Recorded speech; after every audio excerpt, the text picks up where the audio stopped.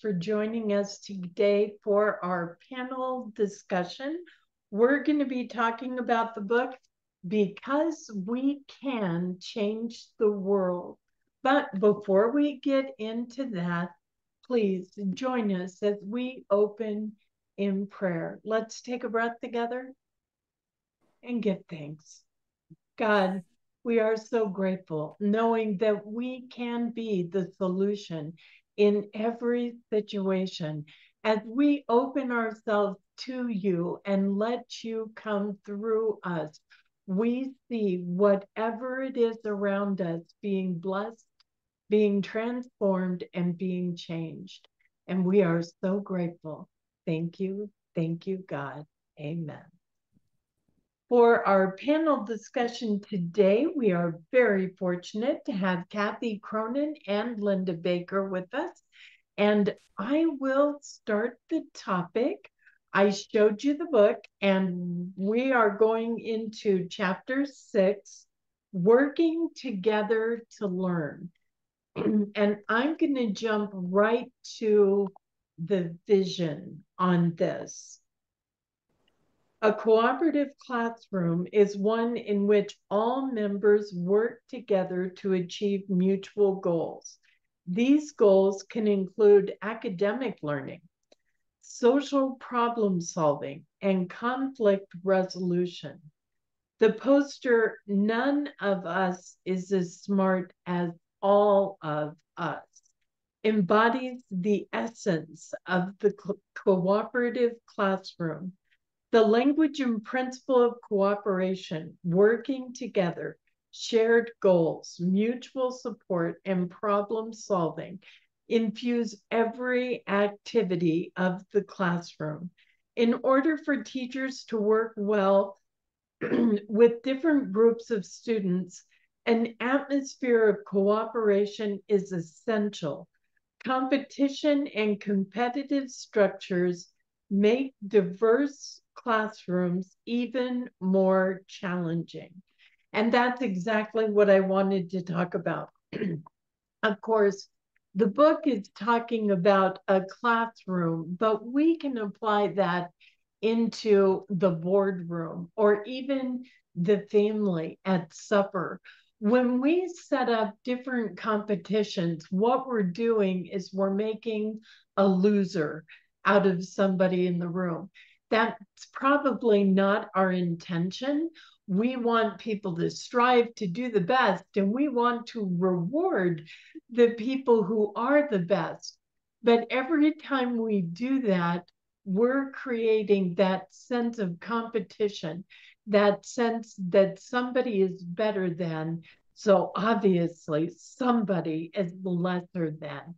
If Instead, we join together as a team, a group, a committee, and work together to come up with the best and strongest ideas, the best traditions, habits that serve absolutely everyone, then everyone involved is a winner. I personally absolutely love the vision on this that it's a we thing, not a you and a me thing. That when we join, we're not looking for somebody to blame or somebody to tag this onto. We're looking for solutions that will create the very best situation for each and every one of us. When we join together in a mission, in a vision, all of our minds together, all of our expressions make all of us better. Now, I realize, ladies, that you're not going to really disagree with that, but I'm hoping that you can share your own experience and strength on this topic. And thank you for being with us. Linda, I will share my thoughts on that. Um, you know, the uh, scriptures where two or more are joined together, therefore is Jesus. Well, I also believe that, you know, when the 12 disciples um, joined together and were in hiding when um, Jesus had died, and it's the Pentecost when the Holy Spirit came to them and enlightened them. I think that when people come together for that enlightenment and sharing. And there's so much that can you can move the mountains and that is so much can be done in unison by working together to find a solution. Um, and it is that cooperativeness. I think, like you said, when it starts to become competitiveness, like, well, this one can do that better than you can, and that.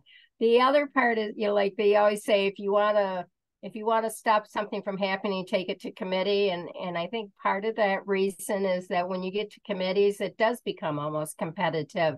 Or you've got the naysayers who always shoots the ideas down. And I think in the aspect of my experience is that when you get a group together to be to hold the focus of it as saying like brainstorming let's every idea is good throw them all out there and then we you know what comes to like cream rising to the top what are the key ones that you know everyone sort of says hey this is but let every thought even if it's so far-fetched where you know you truly sat in a brainstorming session they throw anything and everything out and it all hits it's all on the board. And then because all of a sudden somebody go i never would have thought of that idea and and then it ends up being the solution or ends up being the creation. So um it's just being open and and to what the universe i said i always have this high you know this mass transit going on in the universe that's in my head and it's like thoughts are moving out there all the time. So being open to everything and hearing everybody. I think the other part is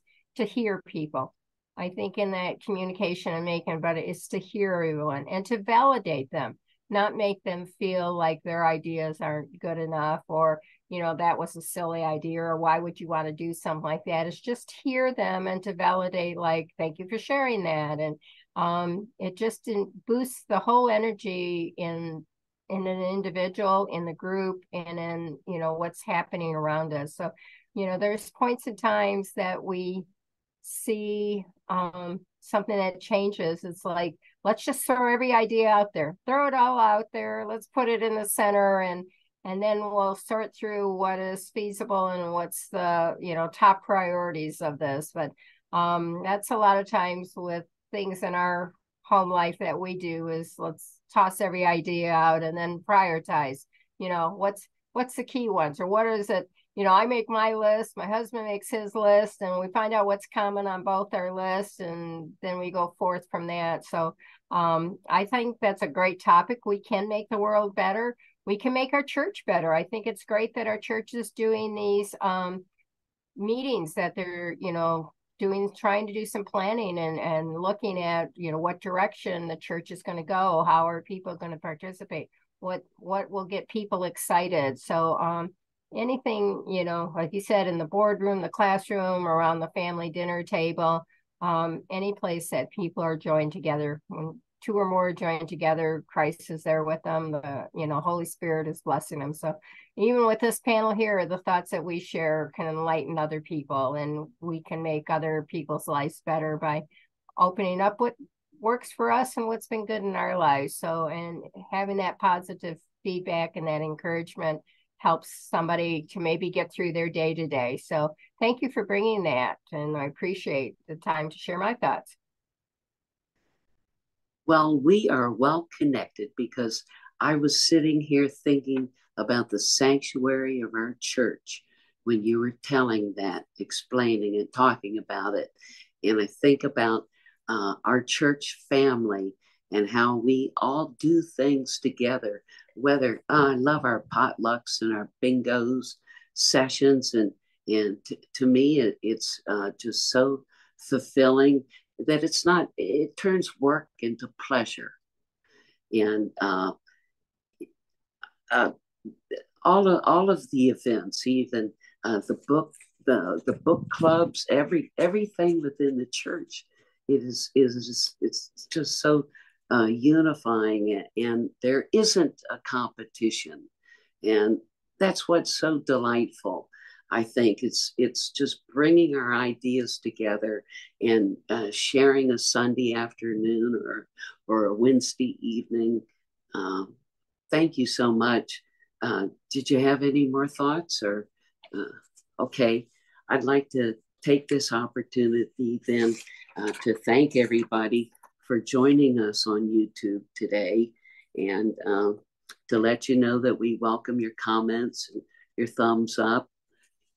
And uh, you're welcome to call the office if you would like to ever join us in these discussions or if you have topics that you'd like for us to talk about, please do so. And everybody is welcome. And um, I'd like to thank the panel and everybody in the audience. And if you're ready, I'd like to close this out in prayer.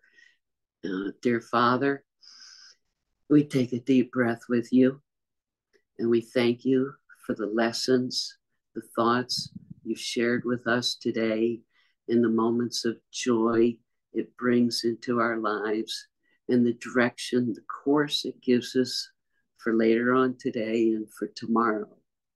Thank you for these blessings. In Jesus' name I pray. Amen. Thank you for joining us and let's stay connected and grow in spirit. We are on Facebook. Search for Unity Church of El Cajon and follow us and like our posts. You can reach us on YouTube at Unity Church of El Cajon.